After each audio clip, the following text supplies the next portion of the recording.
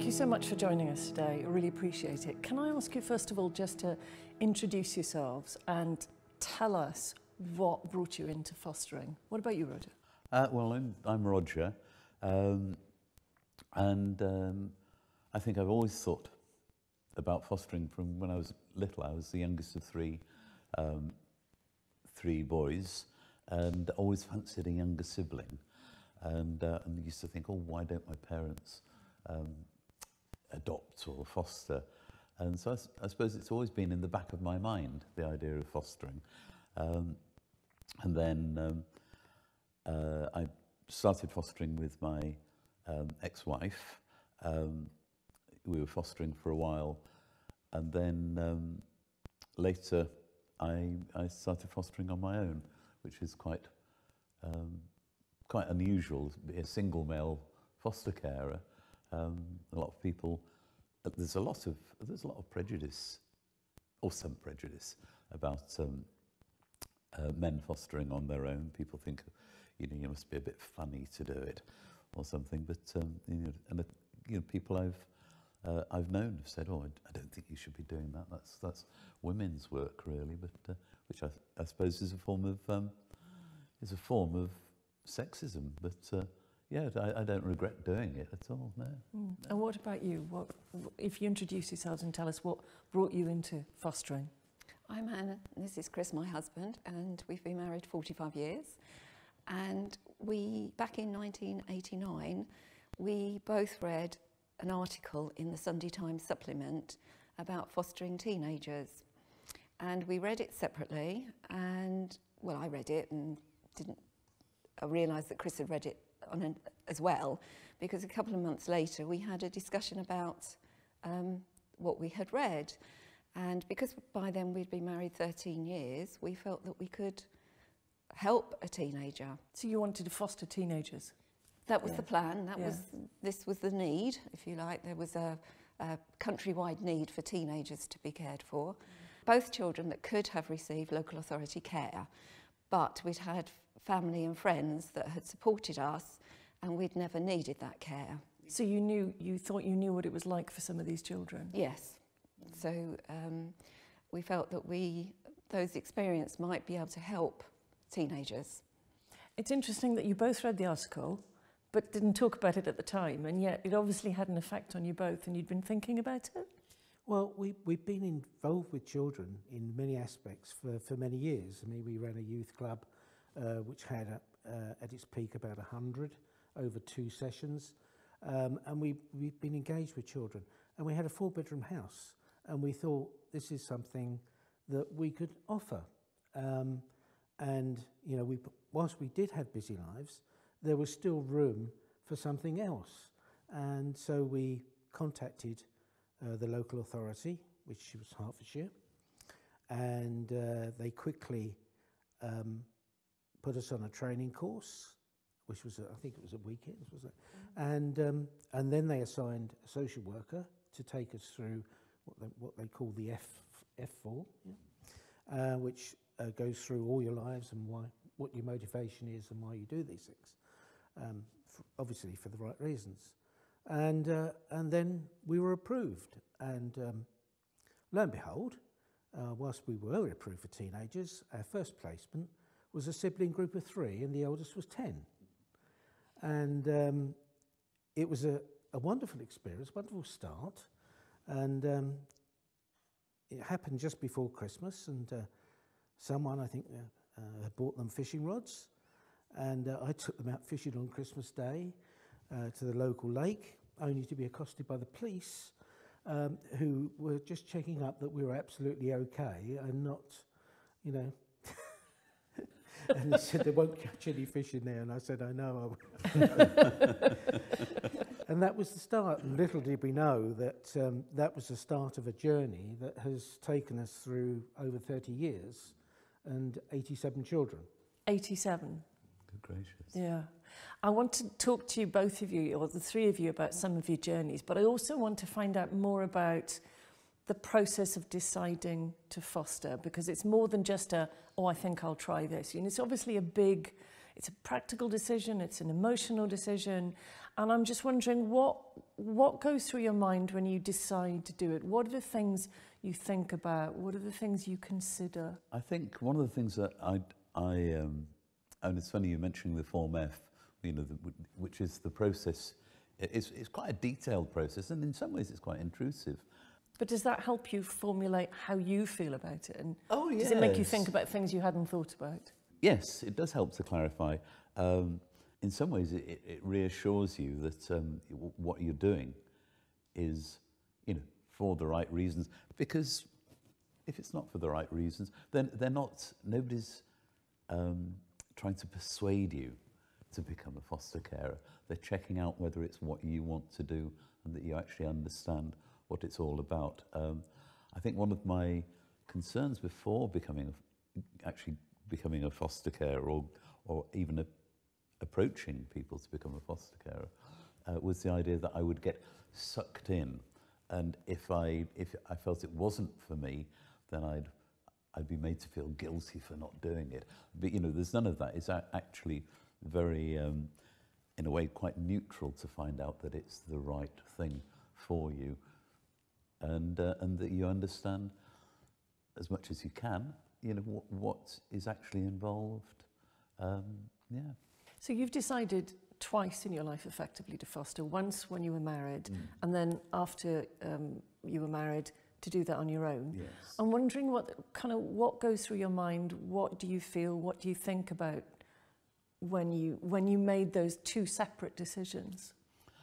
Well, the first, the first um, when I when I was fostering with my ex-wife, um, I, was more keen, I think, on fostering than she was. Um, Do you know why? What can you tell us why? I think as I, you know, as I um, as I mentioned, I've all, it's always been in the back of my mind. Um, her, you know, her children were going off to university, and I thought, well, now's the time. We've got a, we've got spare beds, um, and it's something I'd like to do. Um, and um, and she kind of went along with it. Um, at that time, it was always assumed, although I was the, I was the person who, who pushed it forward, it was always assumed that she was the main foster carer because she was the woman. And, um, and I'd have, have people, you know, phone me up and say, um, say, oh, talking about placement. Can I speak to your wife? And I said, well, you can talk to me. Well, I, I think we want to talk to Carol. and, uh, and so um, when she left, um, I thought, well, I'd like, actually like to do this on my own. And in fact, I moved, we'd moved county from Carmarthenshire to Ceredigion. And I thought, well, I'll start on my own, clean sheet, as, as, as a single male, um, and, yeah, which actually worked out better for me. And uh, yeah. Was that a difficult decision, or was it just? Did it feel just like a continuation of what you wanted to do? No, it wasn't a difficult decision. Um, no, I think it's something that, that I, I wanted to do. I think I'd, I'd always wanted to do it. Um, and, and that was a, um, yeah, that was the time. Um, I, mean, I think in some ways it's easier. I mean, it, easier fostering on your own uh, because you don't, um, you know, I was, I was a single parent for a while um, of, of my own children. Um, everything doesn't have to be done by a two-person committee. You can actually make the decisions, um, and the, responsibility comes on to you. But it's simpler. Yeah. And what about you two? Did you what?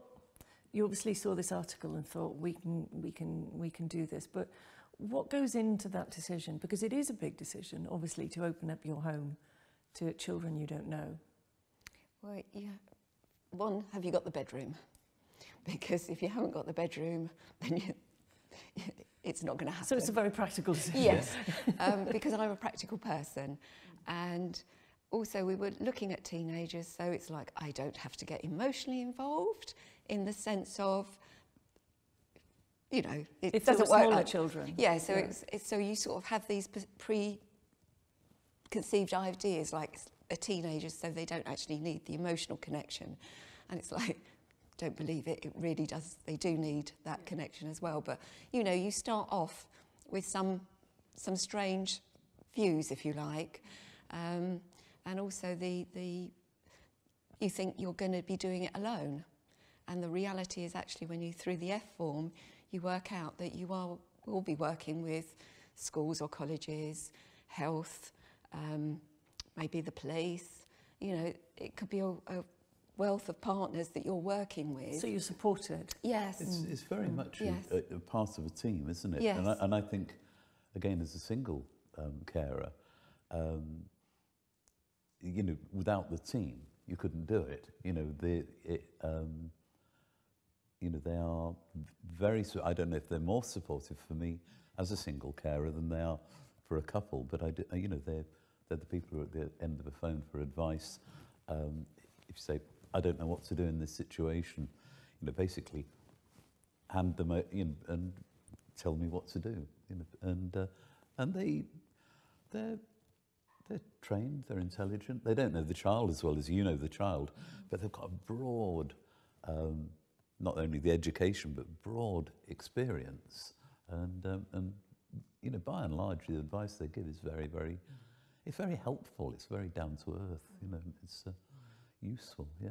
Sorry, Ann, I interrupted you. I reflected uh, a lot during the initial process on my childhood and the people that had supported uh, myself and my four other siblings.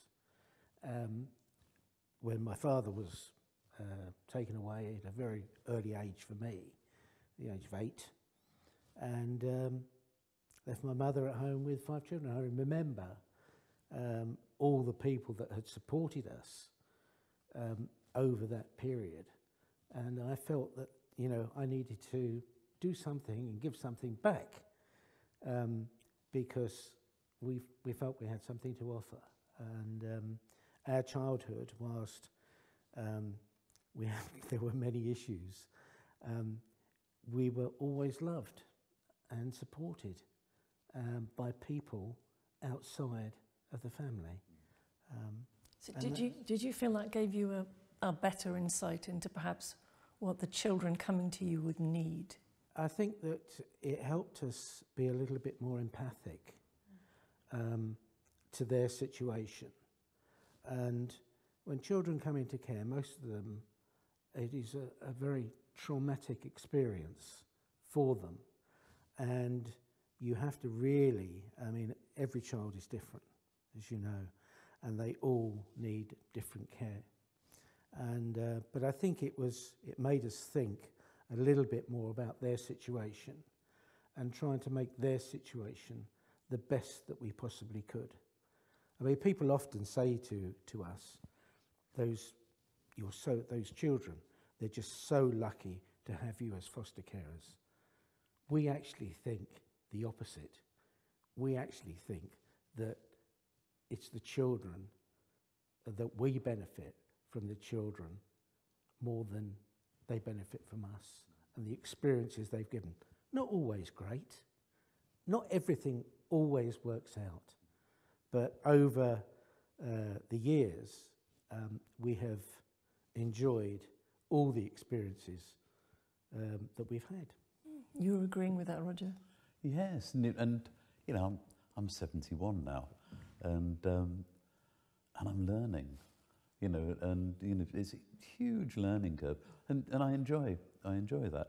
Um, but it's interesting you saying, you know, um, saying about all the children you have um, are, are having a rough time before they come to you, even if it's you know, they're coming to you for a reason, and the reason isn't going to be um, a nice one. It, it, it, they're not going to be having a, a good time, and I think you know, as you, Chris, I, I, um, I had, uh, you know, I didn't have a happy childhood, and uh, and I actually uh, feel um, I'd like to actually help children who aren't having a happy childhood. You know, it's uh, you know there is that empathy, um, you know, for them, and yeah.